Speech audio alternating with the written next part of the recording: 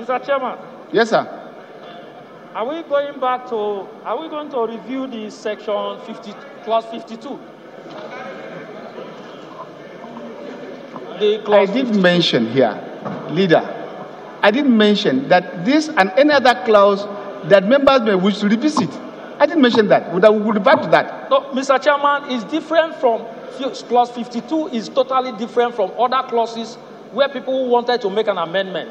The reason why I'm saying this is that members have been trying to say that that clause that was carried was inappropriate and that it was never carried. Well, and eh, we cannot eh, sit, let, me, let me beg of you, sir. we cannot sit on this floor Let me beg of you, sir. and allow that Let- let- inappropriate action to be I- I- taken. please, I- I- so I'm sir. calling on my colleagues that if that is the case, that they have carried it and waiting for us to do a rescission, because it was never carried. So the issue of rescission No, sir. should not even vo- arise. vo- voice, I will advise that we leave the chamber. I- I- we are not part of it. well, if you are saying you are not part of it, it's a different entirely. You are entitled to our opinion, and that's the meaning of democracy. Harry, Thank you very much. We are grateful.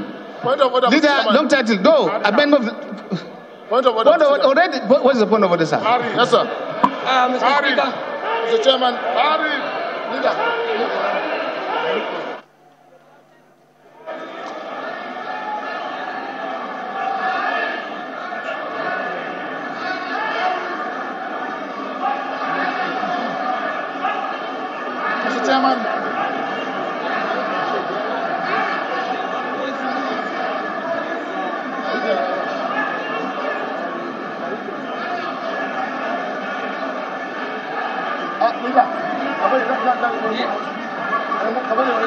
Oda nawa ina so da yi karanta oda oda 9 ne out of order out of order to attempt to reconsider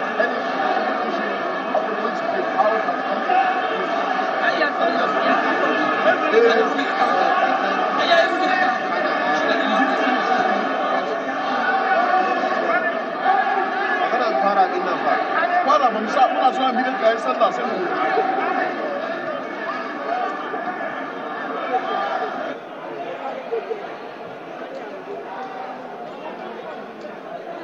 Let's go now. To zan ɗauka bai yadda ba? Zan ɗauka bai yadda.